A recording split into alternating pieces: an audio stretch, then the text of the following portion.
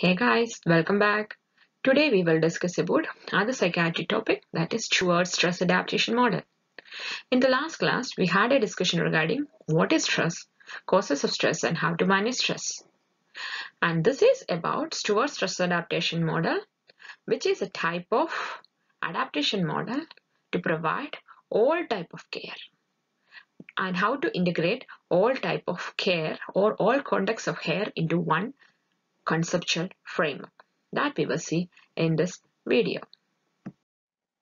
The model incorporates or integrates the biological, psychological, social, ethical, policy and advocacy aspects of patient care, all aspects of patient care into one framework for effective practice. The model was developed by Gil Stuart from his perspectives of psychiatric nursing and the application of this knowledge to clinical practice. So it is known as Stuart's stress adaptation model to provide care to the patient by combining everything into one framework.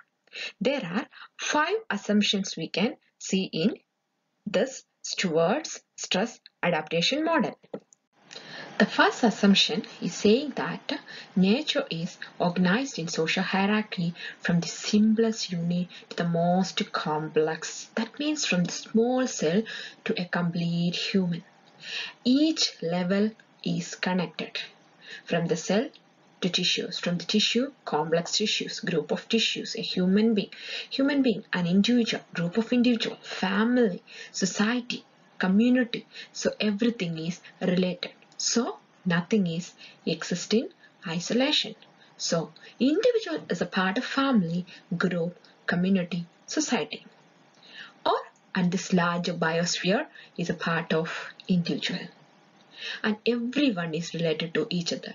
So that is the most important thing a nurse must understand while giving care. So the most basic level of nursing intervention to consider how individual relate to the whole people and the society because everything is related.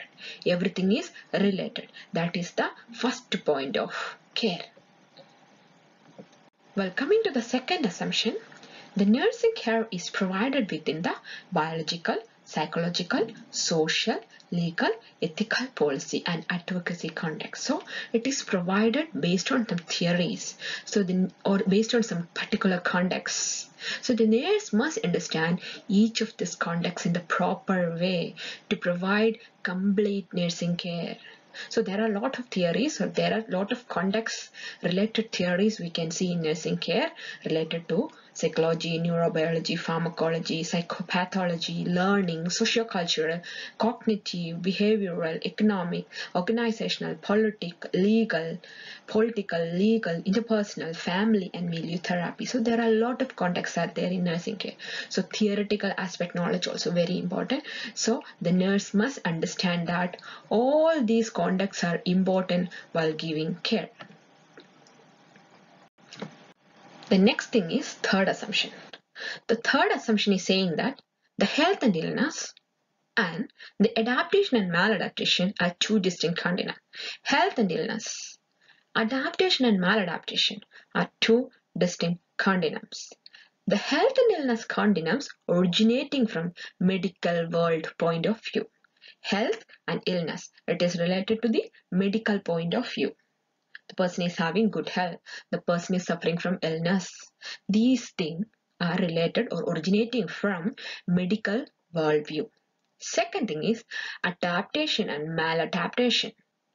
This continuum originating from a nursing point of view. Adaptation, whether the patient is getting adapted with the situation or not adapting or maladaptation is there. This adaptation and maladaptation continuum is originating from the nursing point of view and these two continuums are interrelated also. But health and illness and adaptation and maladaptation are two distinct continuums. That is the third consumption by or that is the third assumption by Stuart's stress adaptation model. Next is fourth assumption.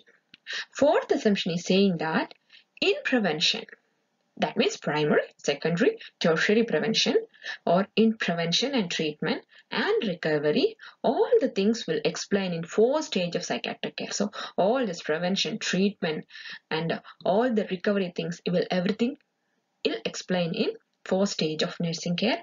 They are crisis, acute care, health maintenance, health promotion. Crisis stage, the acute stage, health maintenance stage, health promotion stage.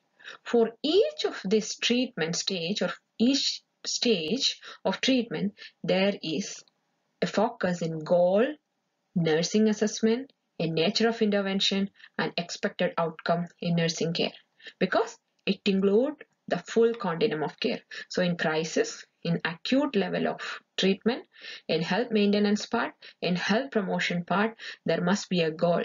There must be an assessment and assessment is having a nature.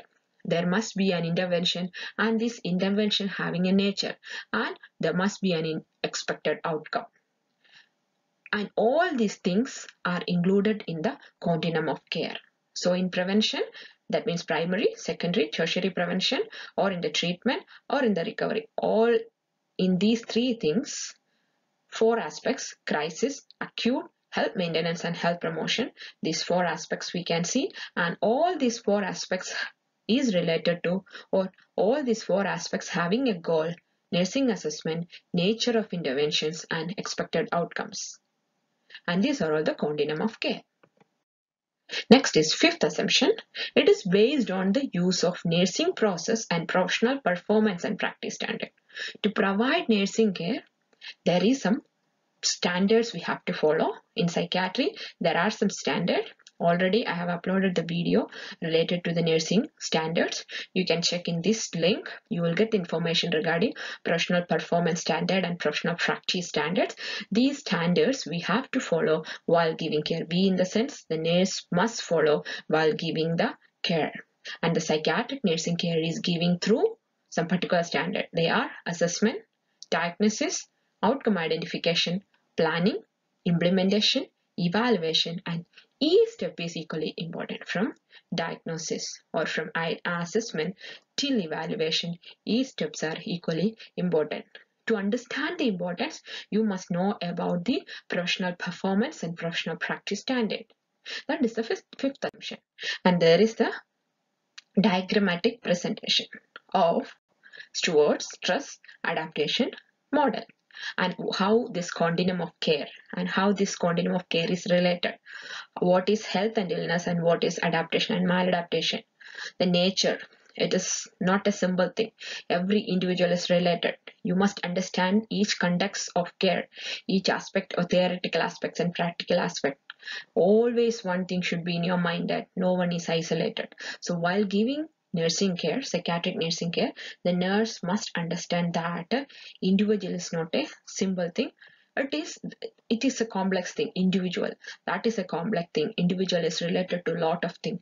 The nurse must understand that. So these are all the fifth and or first, second, third, fourth, and fifth assumptions of Stuart stress adaptation model.